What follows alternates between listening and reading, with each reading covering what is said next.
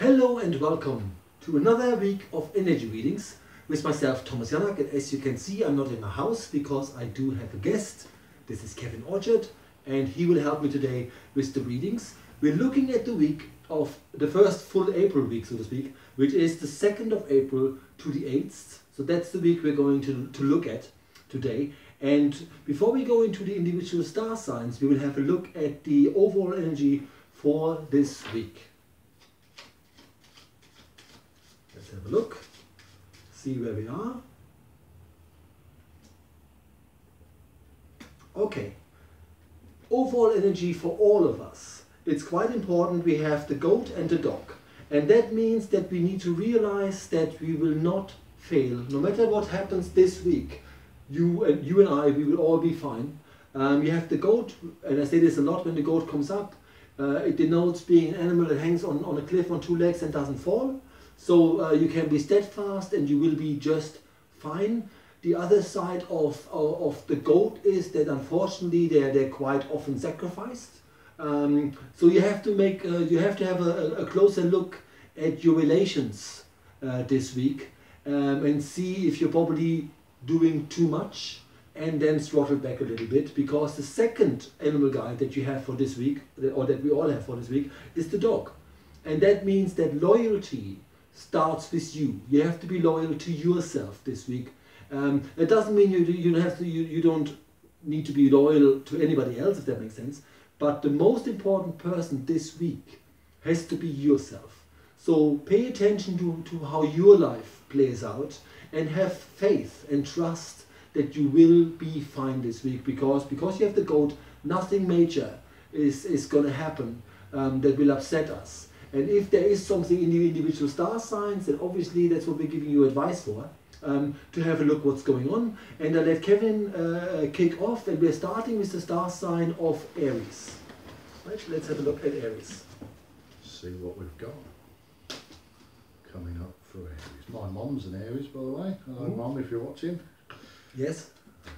Her birthday coming up, so she's had Mother's Day. I've got no money left for a present. There, for, there you go. For her birthday, so I'll have to make something for I found in the woods. Yeah, absolutely. So Aries, what's coming up for Aries? Ooh.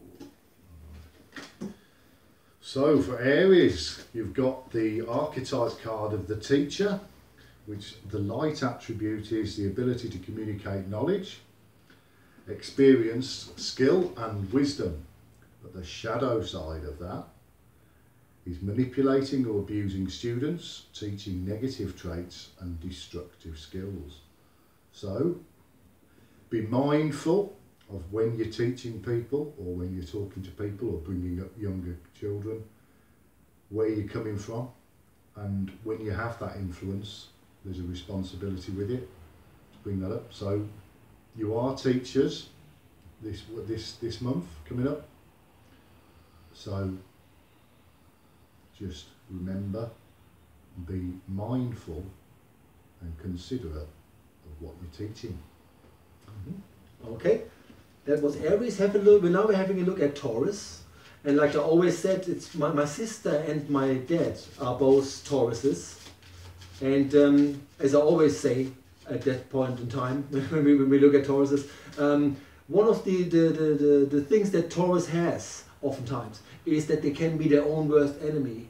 Um, and the good thing is in the last couple of weeks, it hasn't really shown um, itself, if that makes sense. So we're looking at the first full week of April 2018. Let's have a look if that good trend continues. We're looking at Taurus right now. For Taurus this week, it's um, going to be um, a reflective week, or should be a reflective week, because remember you have free will, you can do whatever the heck you want and can override a lot of stuff. You have the grey fox, which means you are quite an old soul, and it's, it's important that you realize that you are an old soul because that would allow you to realize that you have been around the clock a lot. You have been in loads of situations that at the time you thought were unfixable, and yet you're still here. You, you, you survived it and you probably solved a lot of stuff along the way. So um, don't be worried about situations that feel difficult because as always, you will be just fine. You also have the osprey, and this is another um, symbol for making progress. Um, and remember, we had the goat earlier being on two legs and, and, and don't fall. So, this is another week uh, or another sign for you, uh, Tauruses, this week to realize you have made a lot of progress. And it's the second time that this comes up because it sort of came up in the overall energy. So, um, be that person this week that, that has some uh, trust in your abilities and uh, are not too harsh with yourself. Um, and always remember that no matter what life threw at you thus far, you managed, right? Short and sweet for Taurus, going into Gemini now. Gemini, Gemini.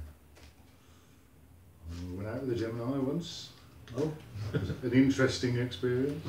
Yeah, she liked me. Her husband wasn't too keen. we won't be naming names. No, all- no, all no. good. We live and learn. Yeah, we live and absolutely. learn. Yeah, yeah. Learn from my mistakes. As did the Gemini. so what's coming up for the Gemini? Oh, right.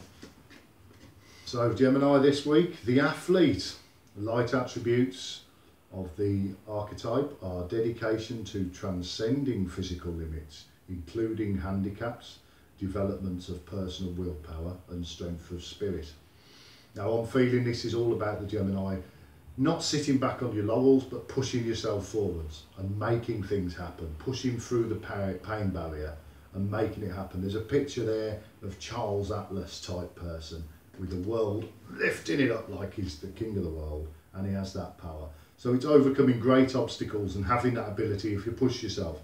The shadow side of that is misuse of athletic ability for selfish ends um, a full sense of invulnerability and entitlement. So be careful of those whilst you're feeling in your pump, but push yourself. You've got the willpower, you've got the strength of spirit. Go for it. Good week there, I feel. Absolutely. We're going into Cancerians, Cancer. My beautiful girlfriend is Cancer. So let's see what's coming up for her and all of the rest of you Cancers out there. Cancerians, let's have a look. For the Cancerians, it's important to realize this week that you're still healing. There's still stuff inside you that isn't quite resolved, that isn't quite healed. And the softer you are in all your relations, the less you panic, the less you um, overanalyze, the better you will actually heal this week. You have the snowy owl and the black bear. And the snowy owl is the animal that tells you, even though you may feel that you that you are isolated, because the snowy owl is an animal that lives uh, in the Arctic uh, region where where, where scarcity is a problem and um, opportunities are are not always presenting themselves readily. Um, so should you feel a little bit stuck, um, then remember that you're also very versatile. So in, in other words, this is a week to focus on your healing of old patterns and of things that, that you know are sitting inside you. But do it gently, do it slowly, and first and foremost, this is a really important week for Cancerians to nurture yourself. Do what you feel does you a world of good. And then, you know, do that uh, and hire your energy that way. Okay, that was short and sweet for Cancerians going into Leos. And um, my son, Kevin, namesake of yours, in, in, in Germany is a Leo. It's a good So- name. Yeah, awesome. Yeah, let's just see what's going on for Leos. Leo's got the lover. Light attributes, with great passion and devotion, unbridled appreciation of someone or something. So don't hold back this week. You're throwing yourself into it and you're going for it, which is typical of a Leo anyway. Um, and the shadow attributes are being obsessive and a passion that harms others and self-destructive devotion. So hold a bit back, go for it. Be be the lover, be unbridled in your passion, but keep a bit back for you, um, and remember not to uh, to be too overbearing. But yeah, I feel that's a good week. The lover card there for the for the Leos. My Yeah. dad's a Leo, by the way, so uh, So there you go. yeah. Mm. And now we're going into Virgo. Let's have a, let's have a look for Virgo.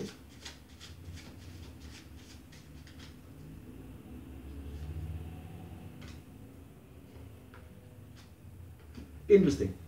Virgos this week, you have the, the parrot and, and, and fish as a as an overall uh, uh, species. and what that really means is that you need some space this week. You need some me time. You need a space that where you can retreat to, where no one else is allowed. So it is important this week to not be overly active, if that makes sense. Don't go to 25,000 meetings, if that makes sense. Right? Don't do too many things with people.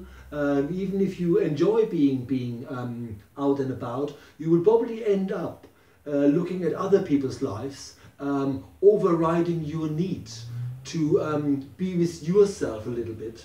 Um, and this is all about uh, healing, if that makes sense. Uh, so, so just like like the Cancerians earlier, um, there are things that are supposed to be healing, and this is a good reading, uh, week energetically uh, for this healing to commence properly. Um, but it is important that you that you take that time out to give you that um, uh, opportunity uh, and to, to get all the possibilities in for you to, to go into healing. The other thing is this week, and that's really important too, um, you are not supposed to explain yourself to others.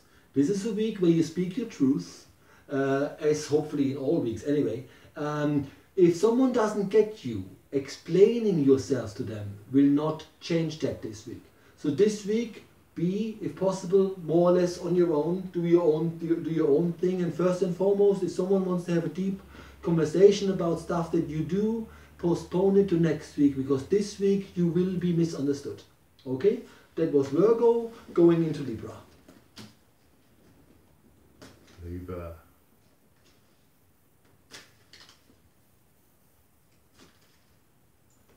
That's good coffee, by the way. It's not bad, is it? It's It's, not- it's not the, uh, the finest um, economy coffee that Tesco's can Mm. provide. There you go. Sometimes the Because last year I actually sort of weaned myself off coffee. So I, I only have coffee when I'm out and about. And because I'm at Kevin's today, so I'm out and about, I have a cup of coffee. And it actually makes a big difference because I'm, I'm, now that I'm sort of more into tea, I Mm. feel like I'm a bit sharper because I, I, I used to drink coffee for about 30 years, yeah, but then I overdid it, you know, when you drink yeah, a lot yeah, of coffee, yeah, you drink a lot of coffee kind of thing. So, so the weaning off was actually quite, quite helpful. I've done the same thing myself years ago. I was a big coffee fan, and now I just love tea. I'm a big tea man. Tea is one of my favourite things in the world. Okay. So we so uh, we are uh, with are we with Libra? We're with Libra, Yeah. and the light attribute is uh, spotlighting your positive seduction qualities. You've got the card of the Don Juan. Wow. The Don Juan, that's something that I embody a lot. Uh, only on a Wednesday. Um, spotlights your positive seductive qualities, uh, your shadow attributes, using the power of romantic attraction for private agendas. So be aware of those shadow attributes, but it's asking you to step into the light this week and it spotlights your positive seductive qualities. So value yourself, Libra. Know that you can be all you can. Get your pom pom, pop your collar, and go for it. Absolutely, and it's interesting because we had we had Libra, uh, so we so we had Leo earlier, uh, having a lover card, and now we have the Mm. one card. And when you look at it energetically, if this comes up more than once in a way, there seems to be a pattern then for for love as a topic to come in, which also means for the for the other star signs. For all us other star signs who are not fortunate enough this week to get a lover card, kind of thing. Um, uh, love is always the answer, and it makes sense then this week to be in a kinder spot, right? So um, that was Libra going into Scorpio. Let's have a look what's what's there for the Scorpios. There you go. Is that you? That's me. Yeah, there, there you go. Oh, you're gonna like this. These cards have uh, animal deities, so every card denotes a deity. What Scorpios have is the plural of that, which means all animal deities. In other words, this week you are fully surrounded by all your guides. So if there's anything that is difficult uh, for, for, for Scorpio, or that has been difficult, or, or feels like you're not quite getting there, this is the week where you get there because the other um, animal deity that comes to your rescue is actually the cat. And the cat is a domesticated cat. So that means the most the most social cat actually is the lion. So we're talking about domesticated cats so what is important is for all you scorpios out there if you feel uh, i'm not going to be bothered this week with people then honor that. So if you feel like i should walk away a little bit do do something that um, allows me to be free then by, by, by, by all means do that, if that makes sense.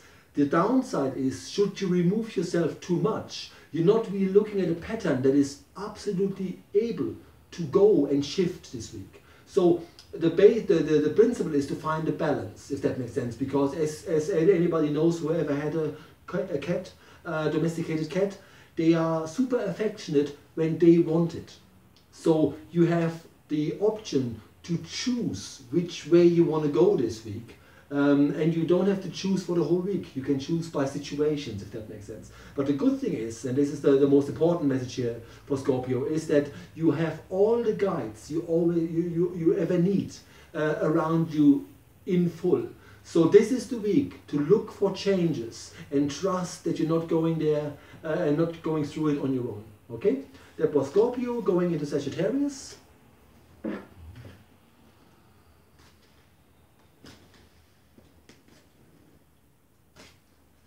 Sagittarius. Mm-hmm. Oh, yeah, typical Sagittarius card. The Rebel. There you go. Light attributes challenges challenges authority to affect social change, rejects spiritual systems that do not serve inner needs. It just so speaks of my mate Joe, this does. It's brilliant. He's like the incarnation of Buddha, but he really does push the boundaries. And the shadow side to be aware of was rejecting legitimate authority out of anger, rebels out of peer pressure or fashion. What that's telling me is to be mindful of habitual responses and response respond instead to what's there and not just how you habitually respond.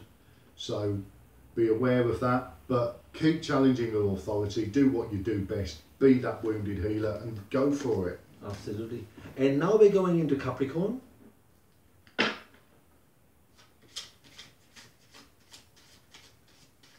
Let's have a look for Capricorn. Interesting. Capricorns have the fox and the lion. And what that means is you have canine and feline um, deities around you, which means this is a week where you have to realize no matter what comes your way, you'll manage because you can adapt and be feisty at the same time. You can always make sure, um, even though you're loyal to people, that you have enough boundaries for them not to overstep their boundaries with, that they have with regards to you. So this is a perfect week actually um, to, to have a closer look at how much time and space you give to specific people and then you might uh, end up feeling, well, you know, um, they're taking quite a lot of my time and you can't even do other things. So you reflect on these situations and get them out kindly, if that makes sense, because you're looking after yourself as you're doing it. So there's not much more information here. Uh, the main message is that no matter what happens this week, you can speak your truth, you can have more boundaries, you can even put people in their place, if that makes sense. But because you have the fox, which is an old soul and a canine, you're not going to lose people because you will say your and make your points um, very gently and very kind.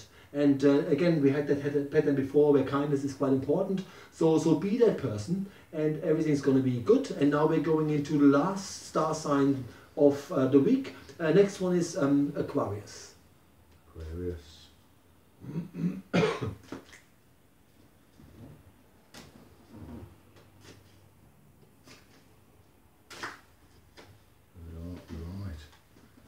Ooh, Aquarius, you've got the slave card. Surrendering your power of choice to the divine with complete trust. So it's all about surrendering and giving up and know, know that it's all going to be looked after for you instead of trying to force things to happen and be, be a slave to life. And the shadow attribute is giving your willpower to an external authority out of fear of making your own choices. Well, that's interesting that both of those are there. So the light attribute of, of the slave archetype is surrendering your power to the choice of the divine with complete trust. But the shadow is not taking enough responsibility and not stepping into it into yourself enough to make your own choices and giving too much away. We all know people in the the holistic sort of development trade that will say, oh, well, it's not meant to be. And you think, well, make it be then. Make it happen. Yeah. Don't just surrender everything. Make it happen. Oh, I'm late because I wasn't meant to. Well, no, you're late because you made some bad choices. Yeah, absolutely. and also, sometimes it's about feeling what's going on. Mm. It, it, is oftentimes too black and white when you say, "Oh, yeah, I missed it, so I wasn't meant yeah, to be here." yeah, Uh, because there there are reasons, even if you are delayed, uh, that in itself can be a message. yeah, You know. yeah. So okay, that was Aquarius going into the final star sign, which is my star sign, Pisces.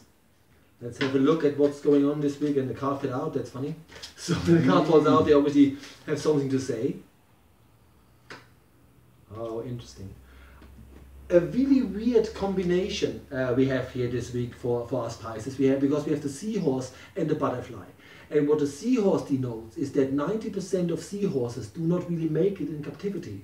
So this is a week to pay attention to what situations in life and what people in your life, what kind of people in your life, um, have an effect of holding you back, um, putting you down almost, if that makes sense, right? So, so pay attention and realize that you have the right to be a little bit, a bit more free, if that makes sense, freer. Um, and when you make your choices and have a look around you, what's going, what's going on, and really pay attention, you will move on from things. And the next uh, deity that we have is the butterfly. So us Pisces, we are absolutely capable and ready to change things for the better and go to the next phase. That also, um, that's what I'm feeling strongly this week uh, for, for Pisces, um, even though it, may not happen to all Pisces, if that makes sense. This is very much related to your love life. If you feel that non acting in your love life, in your relationship that is, um, always doing the same thing, maybe out of, you know, safety thing, you know, let's do the same thing, let's not be too pushy, this kind of thing, which is all well and good. This is the week if you feel to progress in a relationship, um, start that topic. Say, you speak your truth. Say that you would like to have this on a different level, um, and and you are ready to to make that known and, and make yourself heard and known. Right.